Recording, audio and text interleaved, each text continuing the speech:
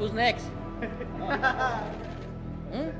I told Hey, my friend, with all my respect, I told you, easy money. it is what it is.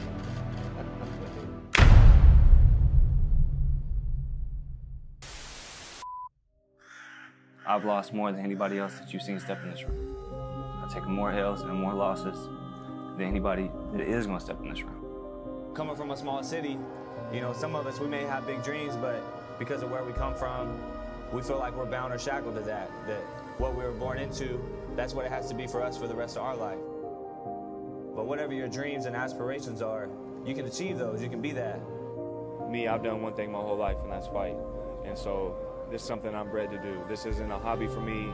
This isn't something that I endeavor in and out of. This is something that I've done my whole life, day in and day out, rain, sleet, or snow, ups or downs. I've been in the gym. So there's no substitute for, for working on your craft. And I've worked on the same craft my whole life. You still speak to your daughter? Yeah, I still speak to her. We still talk. You know, we have a plan. We got we had a mission put together on what we're going to accomplish and what we're going to get. You know, we check in from time to time, go back over it. It's Premier Boxing Champions as Caleb Plant gets set to take on Zoltan Serra. Our Corona tell of the tape. Serra, seven years older than Plant. Plant with the height and reach advantage. Scheduled for six rounds in the super middleweight division. Yvonne Goulet, our referee. A look at 23-year-old Caleb Sweethands Plant. Tennessee native, record of 8-0, 7 via knockout, taking on 30-year-old Zoltan Serra from Budapest, Hungary. Caleb Plant has knocked out his last six opponents, four of the six in the first round. In fact, Plant's eight professional bouts have gone a total of only 16 rounds. Oh, big right by Plant. He stuns Serra, and down goes Serra. He's just fighting on heart. Oh, down he goes again. Shaking his head no towards his corner. Four, five, six. They should stop seven, it. The referee just needs to stop it now. You can tell he's you know leading in with his head, and uh, Caleb Plant's going to tee off on him again. Round of the three knockdown rule is in effect. Serra has gone down twice in this first round. Oh, down again, and that will do it. So he flew nine hours from Budapest, Hungary on Thursday, and he lasts just over two minutes. You know, Kenny, it wouldn't have mattered what time he got here or what day he got here. He was completely outclassed and outmatched tonight. But, you know, just another step up in the natural progression for Caleb Plant. Uh, you know, definitely time for him to move up his level of opposition now as he is uh, running through his first nine fights. And he needs to start going some rounds so he can really progress in the uh, professional ranks. What can you get out of fights like this eventually as you continue to want to move forward, though? Maybe you can finish them all in one or two rounds. I don't know. Uh, well, you know, at some point, we'll be at the world championship level, so of course that'll be a little bit harder. But until then, I'm going to keep being the, hopefully being the guys that they put in front of me and working hard every day and, you know, just doing the best I can. Pues a ver la vida diferente, ¿no? A ver la vida ya de, de, de, de diferente manera a un niño, ¿no? Quizás a lo mejor no tuve la infancia que cualquier niño puede tener o tiene, pero pues la verdad es que me siento muy contento porque eh, yo siento que yo no soy normal y no vine a ser normal a, a este mundo, vine a hacer eh, eh, esto que estoy haciendo y, y, siempre Dios sabe por qué hace las cosas. Pues para cuando estás, cuando, estás, cuando estás chico, obviamente ya tienes tus amigos en la escuela, tienes tus amigos ahí y es muy difícil, ¿no? Y este, te, echan, te echan carrillo otra vez, volver a darles una chinga a todos. Es muy difícil, pero, pero aprendes mucho empiezas a, a, poder estar en cualquier lado o moverte o, hacer cualquier cosa y, ya no se te hace difícil.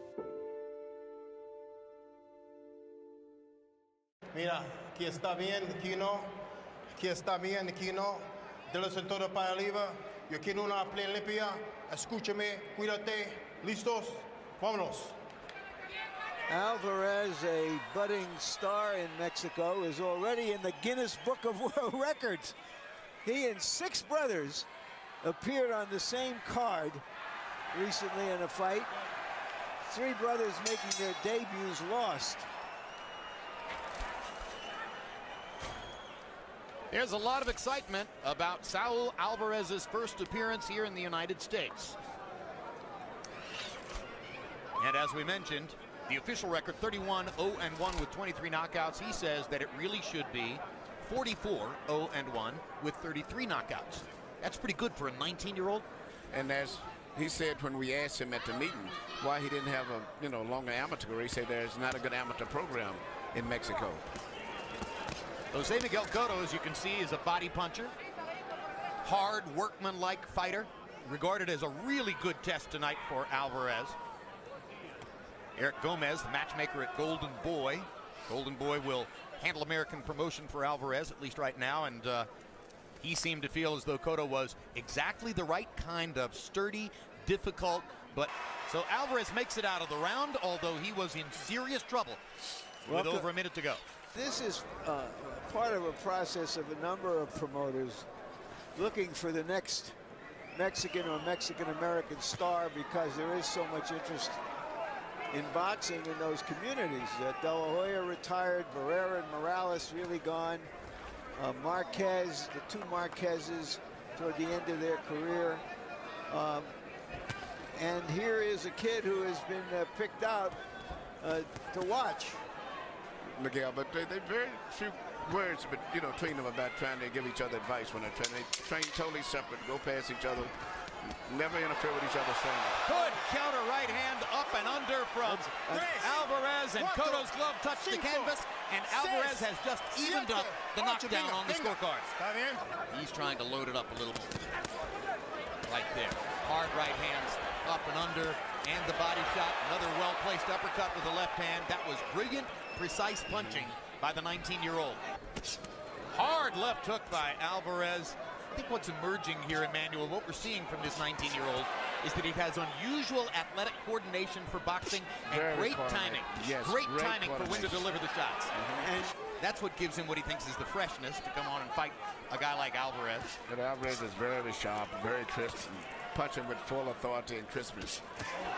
Alvarez landed 17 punches in the last minute of round number five, and now, as the last minute of round six arrives, he heats it up again. Now just look how almost clinical Alvarez is here, trying to break down Cotto on the ropes. You don't expect to use clinical as an adjective for a 19-year-old fighter, but he is. If there ever, if we've ever seen a, a young Tyro uh, with a chance to be something, we're seeing one now. Beautiful right hand right over the top. Tremendous quickness on that right hand, and Cotto seems to be buzzed. Cotto keeping his hands up, not really throwing back. Alvarez targeting right hand shots, targeting right hand shots. Tony Weeks looking, looking. How much punishment does Tony Weeks want to allow Jose Miguel Cotto to take? Cotto's got to start punching back, otherwise this fight will be He's throwing back, but without any velocity. Alvarez is teeing off, and Tony Weeks is going to stop it right there. They were just above us, and you could see Tony Weeks' mind working as he watched and watched and waited and finally saw the moment. Maybe we have seen a piece of the future. That was great stuff.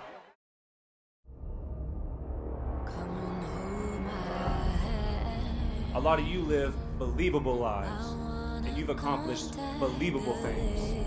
But you see, when I sat out on this, I promised myself that I was gonna run this all the way to the top, where I had no problem crashing and burning and dying on the way.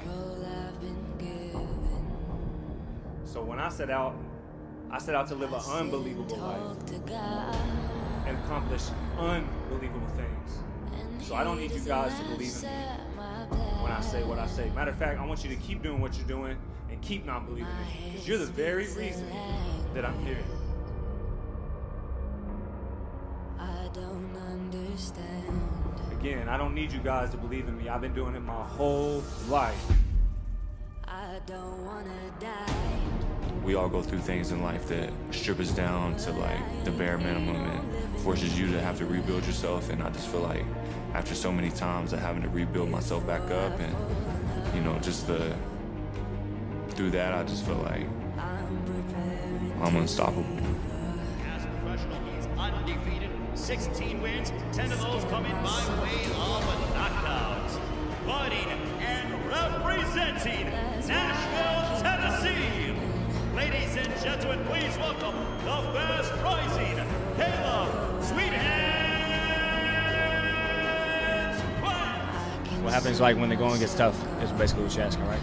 Like like the trailer I grew up in with no heat and air, like like when we didn't have running water, or, you know, when my daughter passed away, my arms, I had a barrier, stuff like that, right? Like when the going gets tough, do the tough get going, like that. Like like my daughter passed away one week on Thursday, and I'm back in the gym the following following week on Thursday. A month later, you know, I'm on ESPN and I put some on, on, on SportsCenter, like that kind of stuff. Just because I ain't had to sit down and, and trade with somebody for what? Have I had to yet? So do I have I needed to yet? No. So why do that? Because because some people at home on the couch eating potato chips want me to. I made a promise to my daughter. I promised her I'd be a world champion. I told her not only that I would win it, but of course I would bring it to her. I plan on keeping that promise.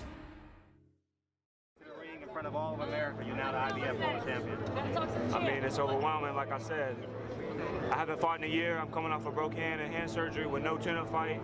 We gave that man a stay busy fight. All the odds were stacked against me, and I still came out on top. I come from the very bottom. I showed the world that no matter where you're from, no matter what you go through, no matter what you're born into, that you're not bound to shackle to that that you can go through anything and come out the other side.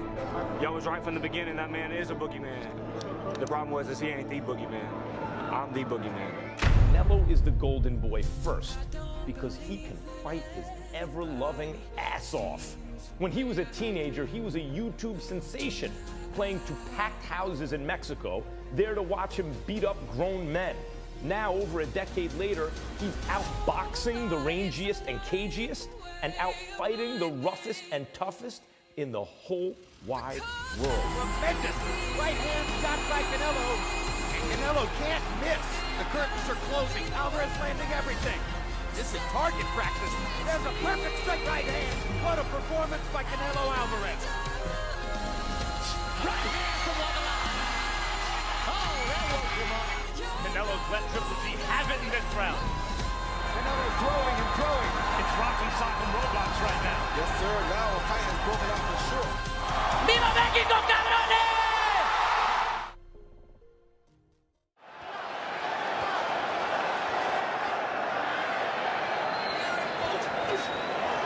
First punch from Canelo is an uppercut. Another jab from Saunders. Carl, how much different do you notice Canelo's style changes when he fights the southpaw?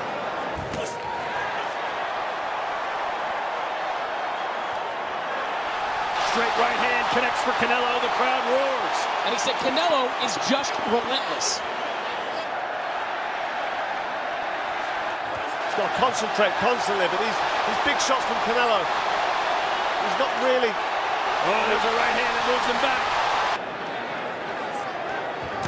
Yeah, these are heavy blows from Canelo. He's putting lots into these shots. Billy Joe saying, these aren't bothering me, I'm okay. But trust me, we can see and hear these shots. They're heavy. Just missing with that uppercut. You hear the crowd's reaction. And that's the punch that Canelo is barely missing. That's the fourth big uppercut that just missed the chin of Billy Joe Saunders. Oh, nice left hook from Saunders. He's always in position to punch. This is what I want to see more from Saunders. Saunders doing the job defensively. Caught him with a quick short hook on the inside. Good catch and counter by Saunders right there. Saunders shook it off. Sticks his tongue out right now. That's a Tyson Fury move. Well, this is the mind games. You see at the start of the round, his arms up, playing to the crowd. And you see Canelo landing big shots like he's here. And look, the, the, the right eye of Saunders is swelling up. Canelo rallying his troops here at AT&T Stadium. And this is what Canelo does to opponents. He breaks down opponents, opponents and makes them weary of the shots that are coming their way. He's like a matador. Well, that's the power from Canelo. Billy says he's okay, but this is a bad moment for him in this fight. Yeah, Billy Joe needs to hear this bell here, get to the corner and regroup. Nice left uppercut from Canelo. This is his best round.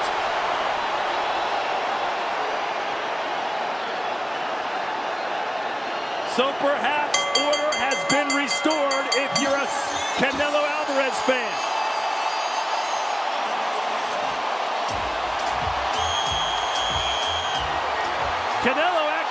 He's already knocked him out. And it is over. They have stopped the fight. They have stopped the fight. It is over. Canelo gets the knockout win. I'm not sure what happened to the corner of Saunders. Nevertheless, the pound for pound king with another win in the Lone Star State. That's it from Dallas, Texas. We broke the records tonight. Canelo Alvarez adds another belt to unify again to move on to undisputed. Billy Joe Saunders, brave, did everything he could. But tonight belongs to Canelo Alvarez. And a night we'll never forget. Sitting there, I just got this really like hot, warm, overwhelming feeling in my whole body. And it like kind of took the breath out of me for a second and I started tearing up and I, I didn't even know what was going on. My dad's like, are you okay? I was like, Dad, I just got this feeling in my heart that I know for sure that Caleb, he's gonna win. He's gonna be, he's gonna be a world champion. He's a good boxer. He's a good move. He have a good moves. Um, he's had fans, good job. But uh, I have a lot of experience, so I'm ready. Drops a beer cloud. A big shot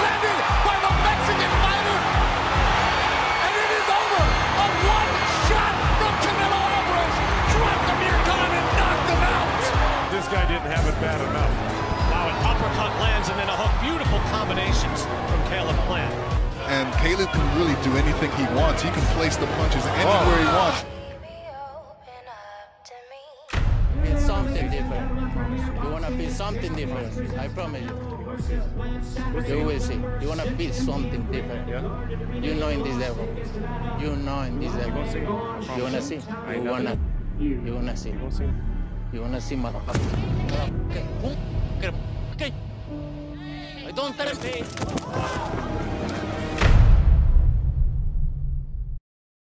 And fight fans joining us around the world, the time for talk is over. Live from the T-Mobile Arena in Las Vegas, Nevada, it's showtime! You keep laughing, motherfucker, because you know when you're gonna find out real soon. And you know when you're gonna find out the same time everybody else found out. And you know when that was? You know when they found out? When it was too late. That's when they found out. And that's exactly when you're gonna find out.